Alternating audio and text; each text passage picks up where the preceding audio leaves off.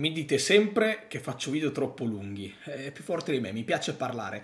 Questo stesso video era stato diviso in due parti, la prima come leggete nel titolo e la seconda un'analisi su Dybala e niente, un qualcosa, una statistica interessante. Quindi ve la butto lì, se questo video arriva a 1000 like entro un'ora dalla pubblicazione, domani mattina alle 8 vi porto subito la seconda parte, quella inerente a Paolo Dybala, dipende da voi. 1000 like entro un'ora dalla pubblicazione di questo video. Sono sicuro che ce la potrete fare.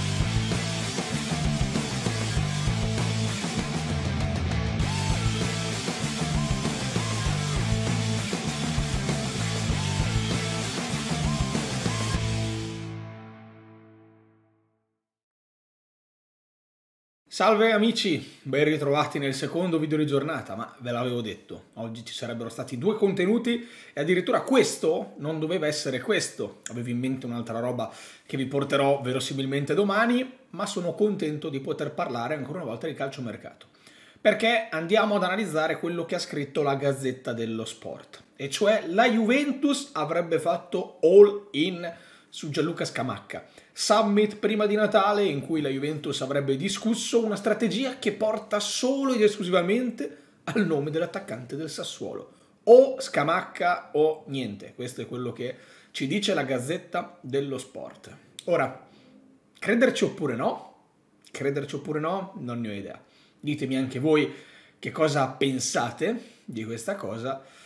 Io dico che Scamacca è un ottimo attaccante, un ottimo prospetto, è un classe 99, quindi al primo gennaio tra l'altro del 99 farà 22 anni tra qualche giorno, quindi un ragazzo che sì è giovane, perché non si può dire che sia vecchio, ma non è quei giovani di 16, 17, 18 anni, è un giovane come piace ad Allegri, e cioè con esperienza in Serie A. Proviamo ad analizzare un attimo la cartella di Scamacca.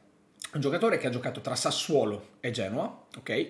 La scorsa stagione ha fatto una buona prima stagione da titolare in Serie A e quest'anno ha fatto un ottimo girone d'andata di Serie A per quelle che sono le caratteristiche ad oggi di Scamacca. Stiamo comunque parlando di un ragazzo che ha 48 gettoni nella massima serie italiana con 14 gol segnati.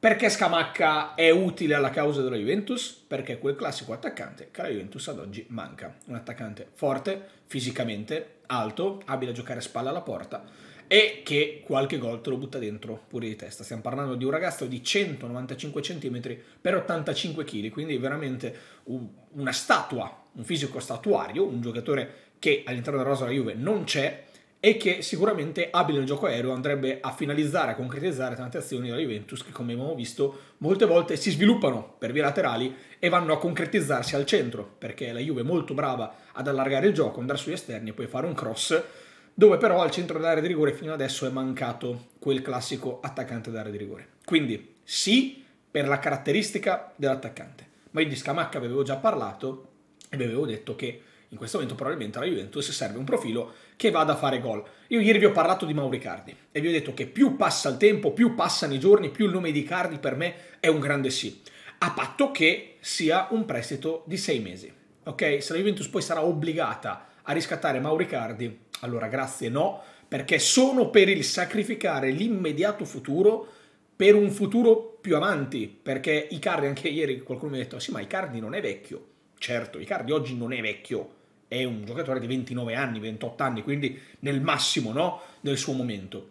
Il problema diventa quando hai Cardi sei costretto a fare 3-4 anni di contratto. Quindi andiamo sui 32, 33, 34 anni, a seconda di quanti anni di contratto andremo a fare a Mauri Cardi, contando anche i 6 mesi di prestito.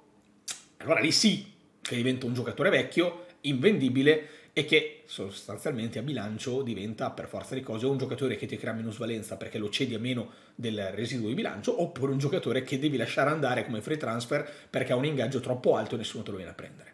Diverso è Scamacca.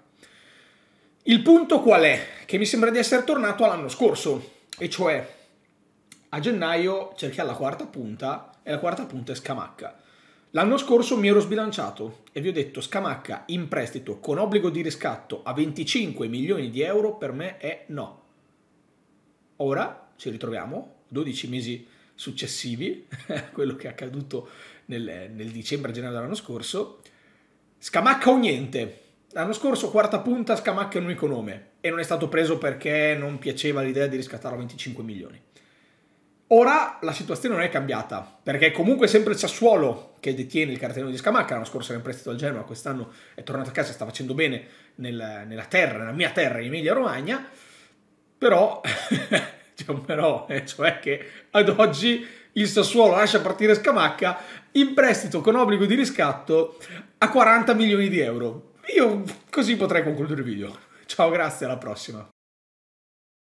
Però non chiuderemo il video qua e cercheremo di fare un'analisi un pelo più approfondita. Allora, è ovvio che, detta così, scamacca 40 milioni di euro, scamacca o niente, e scamacca 40 milioni di euro, mi si gela il sangue nelle vene e vado a pensare, proprio la prima cosa che dico in maniera schietta è, se andiamo a prendere scamacca dopo che l'anno scorso non l'abbiamo preso a 25 milioni di euro per il riscatto obbligatorio, lo prendiamo un anno dopo a 40 milioni di euro riscatto obbligatorio, siamo dei babbuini. Questa è la prima cosa che mi viene da dire. Poi cerco di scavare un po' più a fondo e cerco di darvi una risposta quanto più onesta possibile, nel senso che la Juventus ha questa filosofia.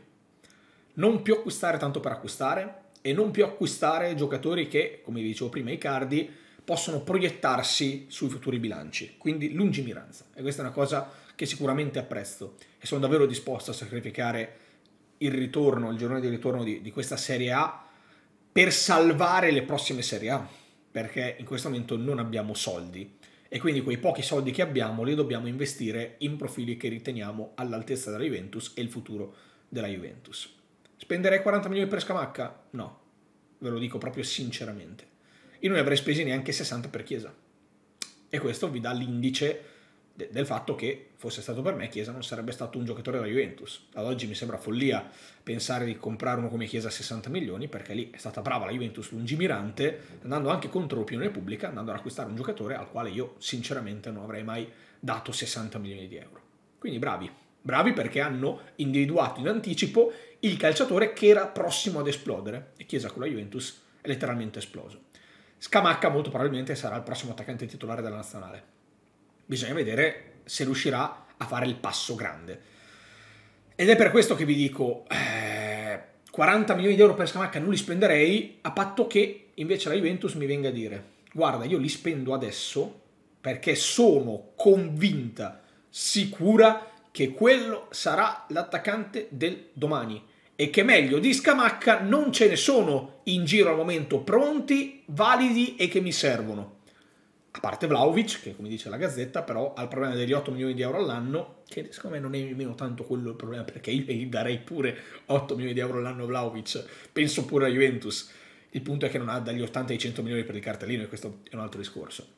Però vi dico anche che qualcuno potrebbe dirmi, ma come? Abbiamo appena speso 38 milioni per Ken con obbligo di riscatto e ora ne spendiamo 40 per Scamacca? Ed è proprio questo il punto. Per Ken sei stato, non dico obbligato, ma quasi, nel senso che se n'era andato Cristiano Ronaldo, avevi tre giorni per sostituirlo, non si muoveva niente e è dovuto andare su Ken.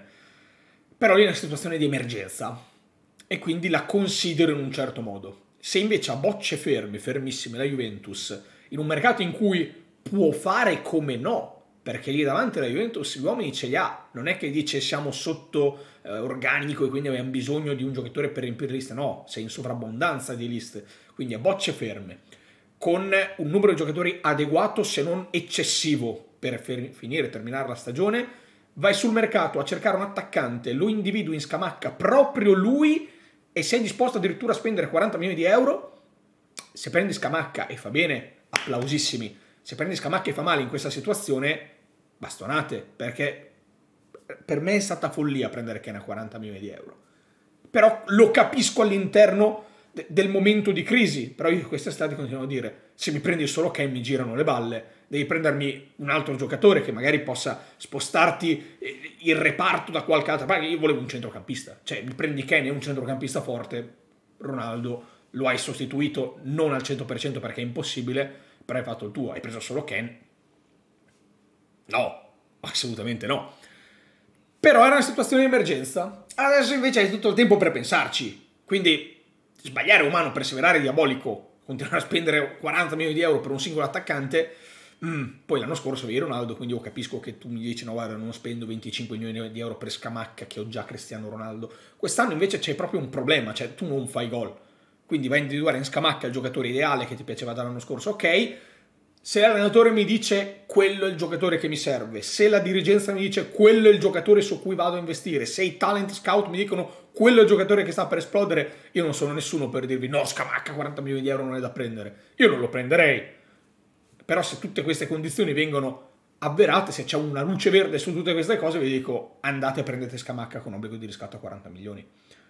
Non lo prenderei, anzi io oggi vi ho parlato di Betto, del, che, dell'Udinese che potrebbe essere interessato anche il Milan al profilo perché non è soddisfatto di Giroud, eh, io proverei in questo momento addirittura una trattativa un serio, eh, l'ho detto anche qualche tempo fa su Twitter, a rotto di dicembre, mi ricordo, ho fatto il sondaggio e tra l'altro in tanti, in tanti, sia su Twitter che su Facebook che qui su YouTube, mi avete detto, anch'io prenderei Beto. Betto, prima avevo parlato di Scamacca, no? Eh, 48 partite, 14 gol, 1,95 m. Betto è 1,96 m per 88 kg, quindi è un centimetro più alto di Scamacca e pesa 3 kg di più. È un 98, quindi ha un anno in più di Scamacca. 15 partite in Serie A, 7 gol. Un giocatore forte, fisicamente, tanto quanto Scamacca, se non leggermente di più. Un giocatore veloce e possente, che ha dimostrato di poter giocare un attacco a 2 far reparto da solo, Nese comunque gioca in coppia con un'altra punta, sono sincero, se devo spendere 40 milioni per Scamacca, delle due prima mi informo su Beto e chiedo quanto può costare Beto, se poi mi dicono che costa anche lui 40, 50, ti dico, eh, lì poi la Juventus che deve fare un pensierino. Però Beto ha avuto un ottimo impatto in una squadra come l'Udinese che non è la squadra wow, che, bella l'Udinese, fortissima, questo gioco spumeggiante che gioca nell'area dell'avversario, no, è una squadra onesta, una squadra che deve salvarsi e sta facendo molto bene. Quindi io ragionerei anche su quel nome lì.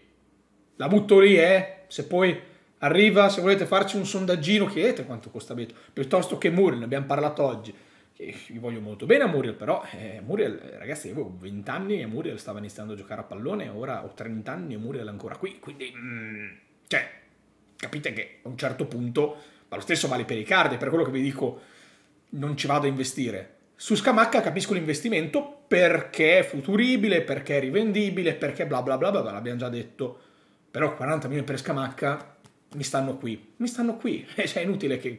Quindi un pensierino su Beto lo farei.